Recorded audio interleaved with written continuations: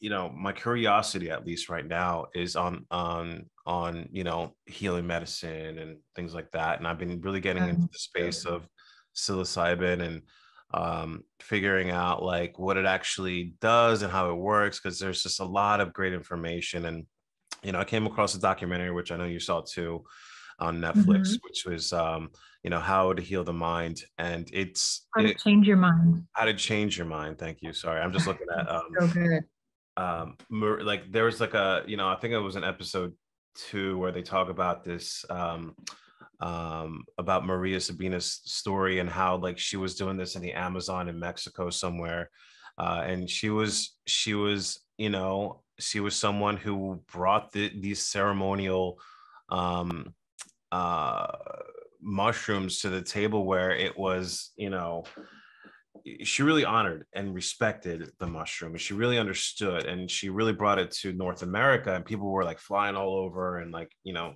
you know you can check out her story but i really want to get into the space of like of what these mushrooms really have like in her awareness you know uh, now wanna, that she's passed away.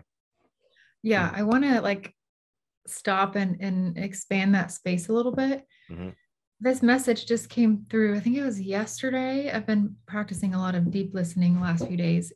I think it was yesterday or the day before. And Spirit was saying um, the truest form of medicine and the ultimate form of, of medicine is self love.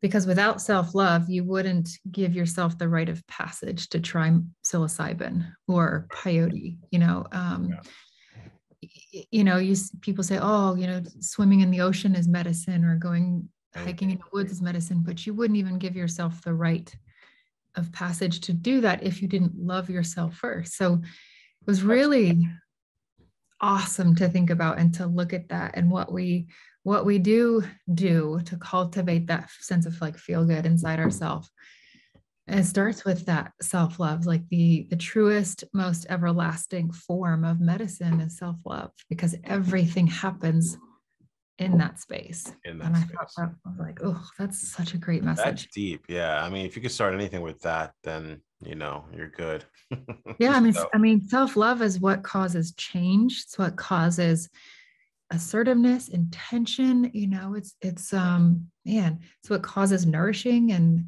uh, nourishment. Um, I thought that was really interesting. Something we should like really dive deep in. Okay, self love. Mm-hmm. Self love as the ultimate form of medicine. Because I too have been on that quest of like medicinal, like like everything from you know peyote to psilocybin and kambo and ayahuasca and aromatherapies and just different forms of natural medicine. Um, so i was asking spirit like what what returning to our nature is the most medicinal thing we could do. So how do we do that? Some people seek you know these beautiful plant medicines and spirit said well you have to have self-love first. And yeah, even if sure. you don't recognize it like because people could go to these retreats and things where they do plant medicine but it's healing. not a self-love for self like just taking care of the self. Like that is yeah. doing these things like taking care of your mm-hmm. body. That is love Yep. Even when it's not recognized, even when it's not felt, even yeah. if you're feeling destroyed and you're like, oh, I'm going to go do this ceremony and maybe I'll feel better. Yeah. Even it's hidden in the subconscious that. Yeah. People taking care of themselves and like really connecting with nature and these plant medicines and these things. It's all part of like you, you know, we channeled a long time ago. It's like, you know, eventually where we're all going is back to nature, you know, essentially. Yes, like, return to that nature. return to nature. So like, and you said that a long years ago, like I remember because um uh you know the, everyone thinks like the future is technology which is cool embrace it if we can figure out how to hybrid those things yeah there's a space for it for sure. Yeah we'll, we'll see what happens and see what uh, let's see what happens because everything that goes up must go down so it's like so to speak uh so let's see what the breadth of all this is because technology is also good but it's also in place for other reasons so i'm not sure i'm not sure I'm not sure. You know, yeah. I think I think we are the technology. You know, I mm-hmm. think we are the technology. Our this body, this the way we can is the most incredible experience. But we, uh, you know, the humans always, uh, at least this experience, we we always try to create things because we like to see things and it's like we're toys like we're playing mm-hmm. like this is a playful this is a playground you know let's yeah. just get that out there this is a playground it should be fun we should be exactly. met we're manifestors. We're here to create. We're here to embrace. We're here to love. Yeah. we're here to love we're why not? Play. we're here to laugh. Don't take anything too heavily. Don't take anything too seriously. Just flow through the experience of it all. Yeah. So you know this is where we're at. We're in this dimension right now that we're present to all kinds of amazing tech we can connect. You can see us you and i talking. I mean i, I just gratitude for that you know we're able to communicate yeah. on a mass level that is the, te- the power of technology. Because as a creator myself as a video producer and all these things like i have to embrace that as well because it allows us to really communicate on a different level uh, physically now collectively we're all connected like if, if we can bring that awareness that like no matter what there's no separation we're all mm-hmm. one we're all this um it's you know that's that's eventually where all this is headed you know where we could see ours as a one grid system my curiosity with maria sabina like i think maybe she would be great to really uh, i don't think anyone's really channeled uh, or talked about the consciousness of the mushroom and why it's mm-hmm. so sacred and like you know she would she would be on this whole like you know her, her thing is like her healing sacred mushroom ceremonies called veladas veladas i guess were based in use of psilocybin mushrooms particularly uh, a sacred mushroom um, that she would perform in in this in the middle of her town i guess i uh, you know so so it, it's kind of like if Erica like bring her in and she can come forward and like kind of like just like lay five ten minutes of information of like the psilocybin, yeah. the mushroom, because she was that embodiment. You know, she was that awareness at that time. So I think she has she yeah. an expert in that. Um, you know, and while she died destitute, she didn't have a name. She's like she really brought awareness to the masses about what this uh, plant uh, or mushroom, sorry, um, um you know does for for consciousness like on a human level it's so cool because every time you talk about like what she like so Erik's already bringing her forward um and it's really cool i see this like like iridescent bluish light um and what it does to the body or why or how uh, like when you talk about the mushroom um and and what she knew and what it does and that sort of thing so it so what it does uh, and then i'll you know we'll talk to her in a second but like i just have to share in order of how i receive mm. the information so there's like a full um, activation of the nervous system um, in the body and the um, uh, uh, meridians like the the channels that energy flows through in the body. So so not just full activation but in a way where there's no gaps like there's no loopholes or no gaps. So like uh, the mushroom fosters like full complete connectivity and so if we were this is Erik talking if we were walking around in that all the time we would be fully or even more aware of our creative nature um, when we're fully aware of our creative nature, there's no need to compete, he says. He's just kind of making a remark. Um, so when I kind of shift over to her, it's like she, she, well, this is cool. She's explaining the mushroom as like uh, music, um, sound, like sound, but music. Um, and knowing in a very deep way the way sound organizes itself, she's saying. Um, she's so cool. She's very, um, her energy is very like super, super humble, like super quiet. She's very few words, but effective when she shares. Um, and she's showing having an awareness of how the frequency of the mushroom is the same frequency um, as the nervous system. And so she shows like all of these channels being just completely lit up, like that bluish, like iridescent color um, through the use of psilocybin. And, and if that is so, this is what she's showing and, and saying. If and when that is so, our mind isn't so here and now in the finite sense, um, we sort of step away from the attachments of our mind and our thoughts. And so then we see beyond what our mind tells us to see. Um, I feel like I need, she wants me to say that again. Like we see beyond what our mind tells us to see or tells us what we're capable of seeing.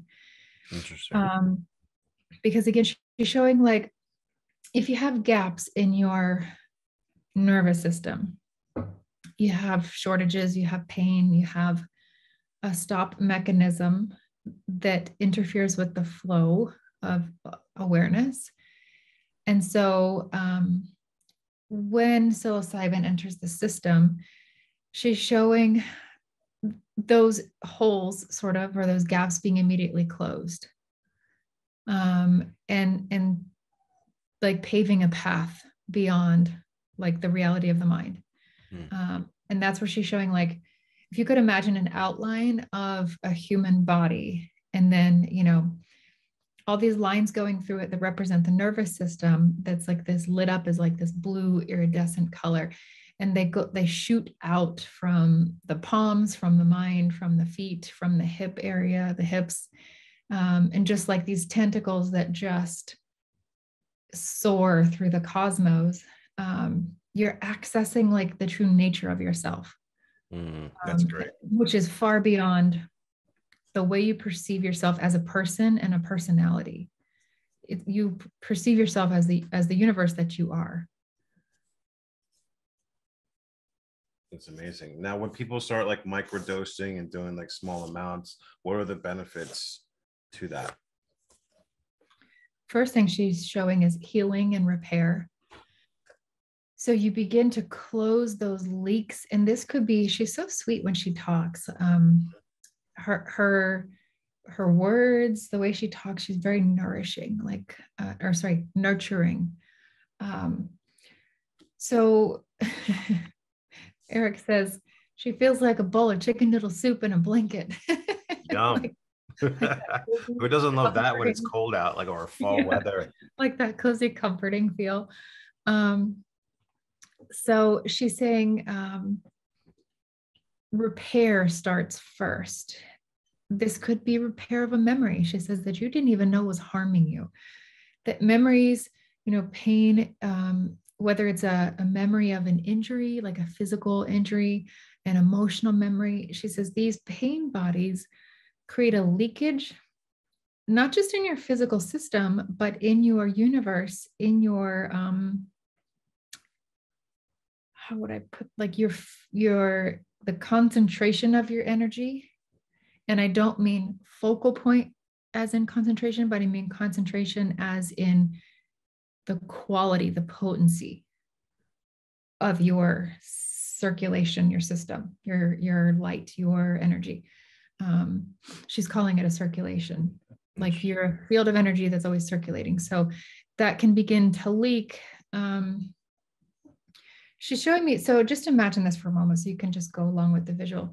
Imagine like a channel of energy spinning really fast and circulating, and it keeps itself contained. So it's it's because it keeps itself contained, it spins faster and faster and higher and higher, and it's more potent, more effective. But if it doesn't keep itself contained, it starts to lose pieces and you know shrouds of itself start to fly off here and there. And that's what happens when we collect memories or we put ourself, we create the idea that ourself is that pain or that memory versus the true self. She says, think about it like this it's the same effect when you see an ice skater arms wide out and they're spinning in circles versus when they pull in, they spin really fast. Like that vortex of energy is like, and she's showing that when you keep things contained in essence, in truth, um, and healthy and whole, then your your vortex or your your spinning is faster Oh, that's um. Much more like high yeah. higher velocity. Yeah. So um, that's what psilocybin begins to do. And and just even in like one dose, that's why you can then have experiences outside of yourself because that's already your nature.